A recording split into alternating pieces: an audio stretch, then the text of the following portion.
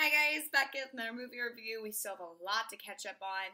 This one I saw two weeks ago and is getting tons and tons and tons and tons and tons of award buzz. We are talking about The Favorite.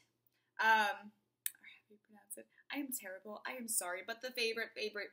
You understand what I am talking about.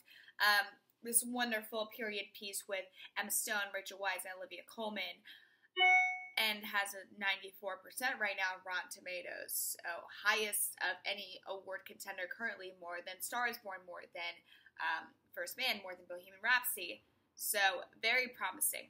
So here are my thoughts and feelings. Um, I saw an early screening two weeks ago, and I think it is a strong, form, a strong, strong film with strong performances, but the storytelling falls short. So it's very confusing. Um, so we have Madame in charge, Olivia Colman, and underneath her is Rachel Weisz. And Emma Stone is supposed to be a distant relative, comes in to like stay with them and work, and then she ends up in favor of the queen. Our Madame, what, what lady? what I'm saying. Uh, she also um, has a little relationship with Taylor Swift's boyfriend, and they get married. It's a whole thing, and apparently they're in a. It's really they're in love the whole time. It's very confusing. Um, yeah. Um, my head hurts trying to rethink about this film. Um, and the ending is even more confusing. It's a zoom in on Emma Stone's face and a squirrel.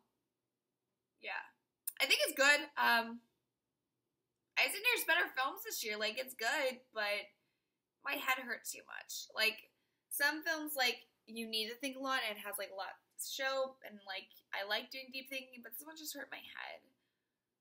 Yeah. Um. It's supposed to be a comedy, but it really wasn't a comedy to me. Like there were some funny moments, but like it's fine. Like, yeah. Um, but Emma Stone's great in it, and Rachel Weisz is great in it. I could see any of them walking around, uh, walking away with Best Supporting Actress because that field is wide open. Other than that, I think the stronger films like Star is Born and uh, Green Book are going to beat it out. So there's that. Um, I say go see it though, so you can try Unscramble and help me out though, try and figure out that ending. Yeah, so favorite, uh, 94% Rotten Tomatoes. Solid film, confusing, strong performances. Go women.